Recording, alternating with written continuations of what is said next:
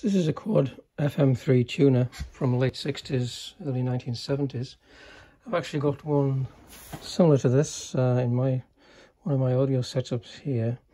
It's matched with a 33 preamp and a 303 power amp. Um, this one was from my friend's estate, who have been uh, fixing up a few radios to go to the Spark Museum for. And I uh, wasn't sure if this was working or not, so I was put on the bench today and checked it out.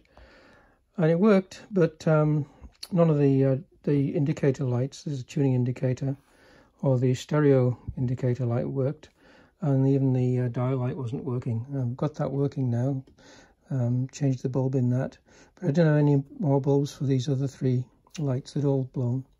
So I, instead I simply replaced them with um, LEDs. I use blue LEDs, a nice low current draw. I've got a 10k series resistor, uh, so they're rich fitted.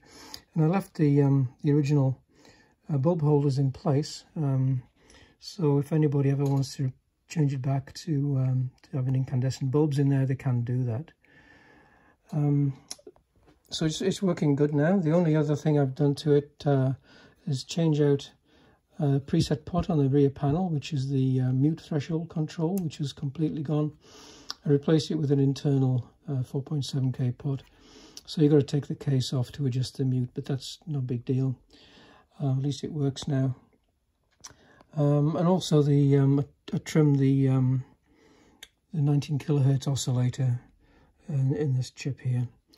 Uh, it was it was off. It was running at about 16.5 kilohertz, so the uh, stereo light wasn't uh, functioning correctly. Now it's exactly on 19 kilohertz, and uh, it's working good. So it's on. I just it's muted at the moment because I'm not on a station at the bottom end of the band. I've got a pair of rabbit ears antennas on on it. Um, so it's the mute threshold is set just above the noise level, so it'll pick up weak signals, some that it can't even decode properly. But I just wanted to demonstrate the uh, the tuning control and the stereo light.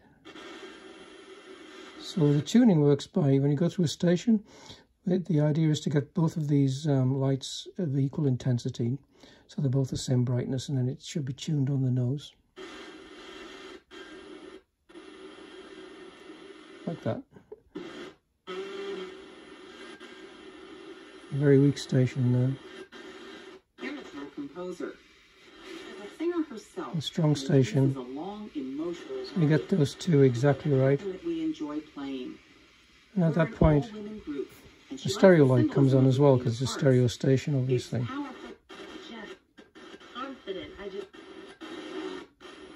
The stereo light, of course, will not come on if the station's too weak. This your opportunity to secure work at a great employer and earn a 2000 signing bonus.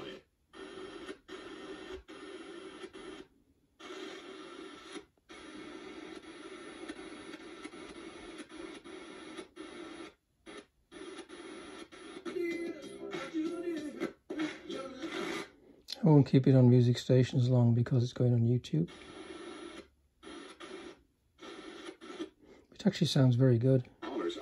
Right here on Island. Consultation, installation, and I'm just playing through a couple of of uh, old computer speakers at the moment, so uh, the audio is not that great.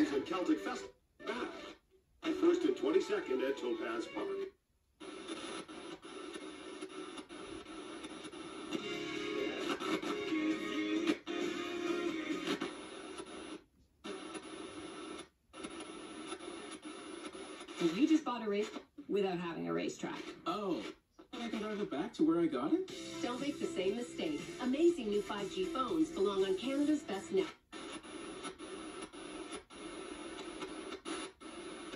Five G phones just got better.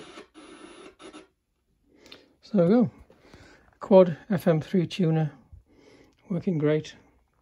Looks almost new inside. It's a very, very clean example. All original apart from the uh, modifications I've done today. So uh, this will be going up for sale.